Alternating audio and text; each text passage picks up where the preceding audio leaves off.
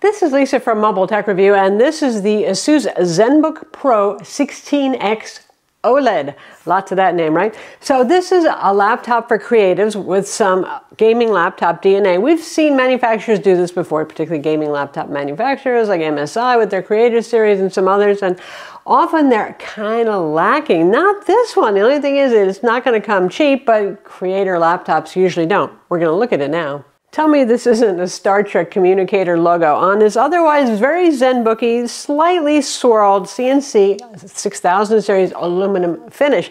This is a pretty durable laptop. It's not that heavy for a 16 inch powerful laptop, but they make a big deal about the fact that it's passed several MIL STD 810H tests, including shock, vibration, heat, humidity, all that sort of thing. So it's, uh, you know, it's not ultra delicate or anything like that. Also, the 16-inch OLED display is covered by Gorilla Glass, which is great for durability and avoiding scratches, but it does have a good amount of glare. That 16 by 10 aspect ratio, 3.2K resolution, this 3200 by 2000 pixels uh, is quite nice to look at. It, we measured it at 1616 nits of peak brightness. It's a 10-bit OLED display, so it's pretty good stuff.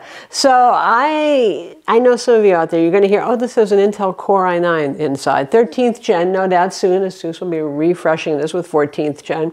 And it has an NVIDIA RTX 4080 in it running at 160 watts. So some of you gaming people are going to be like, last year, 2023, was the year you couldn't get an OLED gaming laptop to save your life. And you might be considering this one, and that's okay. We'll find out more about that.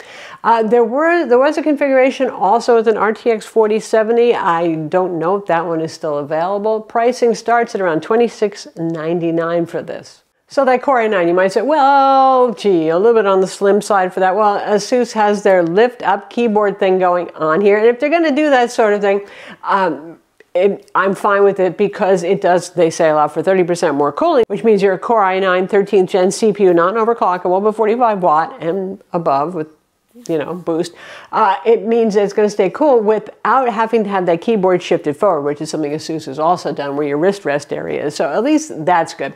Ergonomically speaking, though, tilting your wrist back like this actually isn't the best thing for your wrist, but at least it's a very tactile per key RGB keyboard with a bunch of program light effects so you can roll your own, much like a gaming laptop actually. Hmm.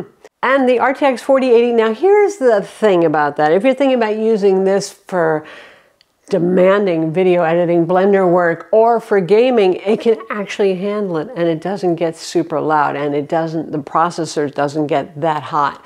And the surface temperatures aren't that bad. We've got liquid metal, we've got a vapor chamber in here, but one thing you're going to want to do for maximum performance is set the cooling profile inside of ASUS's own app to high performance. It, you know, if you're running it hard playing a game or doing any of those things, it's going to run the fans pretty high anyway. So acoustically, noise-wise, it wasn't any worse, but boy, we got better frame rates in games by far. So if you take a look at the footage running of Cyberpunk running, okay, so we're, we're doing it at native resolution, 3200 by 2000, so higher than QHD that we often test that with gaming laptops. And the difference goes from about 44 frames per second with ray tracing low and goes up to 60 frames plus.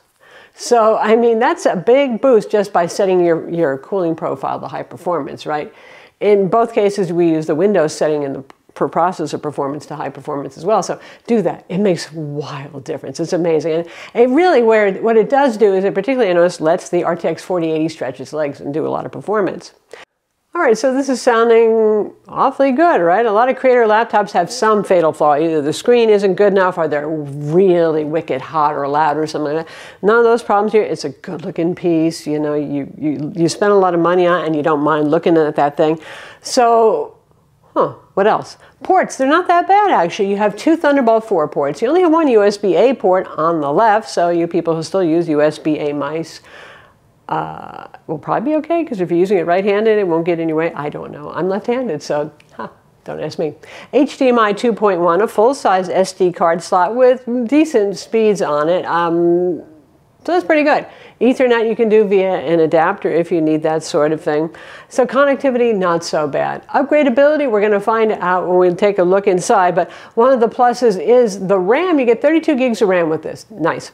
Uh, it's low power DDR5X. And they did what Apple did with the M series processors. They soldered it on the motherboard. So that's bad because you can't upgrade it, at least it's 32 gigs, but it does allow for way higher clock speeds than normal.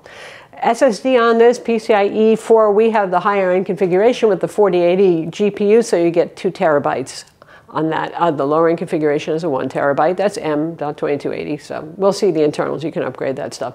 So good. Wi-Fi 6E, which is currently the latest standard until Wi-Fi 7 becomes that standard. Nobody really has a Wi-Fi 7 router at home yet or at work probably, but whatever.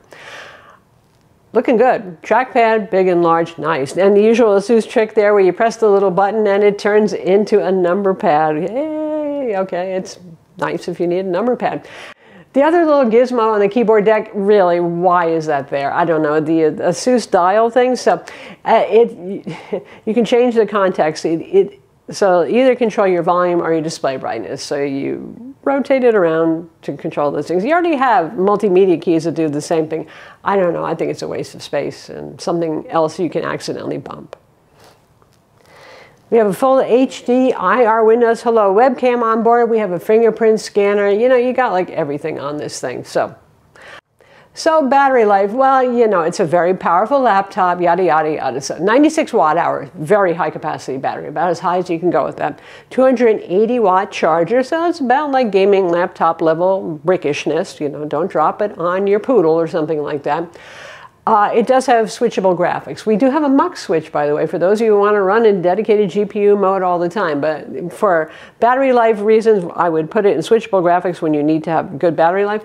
It's not that bad. I mean, doing light productivity work, streaming, all that sort of thing, I was getting three to four hours, which for this class of machine is actually not that bad. The unit ships with the ASUS 2.0 pen, which is a Microsoft Pen protocol, otherwise known as the same thing Microsoft Surface uses pen. Comes with a couple of nibs like HB, H. That's nice that they have that. 4096 pressure levels, and it tracks really well. It's absolutely fine. This is not Wacom or Cintiq or Apple Pencil level, awesome for 2D artists, but for most people, I think it will do the job nicely and it's capable enough for some pretty serious digital painting and sketching. All right, to get inside, Torx T4 screws, not T5, easy enough. Um, ventilation, you can see right here. This part is actually not going through, but where the fans are is open. Anyway, the big surprise is here. Once you undo those screws, it just comes right off. You don't have to wrestle with plastic clips and all that sort of thing. Very nice. The CNC aluminum back cover and here inside a little bit less than you normally would see in a mobile workstation or gaming laptop in terms of things you can do yourself. Notably the RAM as I mentioned is soldered on. Got vapor chamber cooling and liquid metal they say beside that they're using their dual fan cooling obviously your big 96 watt hour battery and again we have six driver speaker system you can see the two I would imagine these would be the woofers here firing downward. The Wi-Fi card is also soldered on so less upgradable than usual for this class of machine.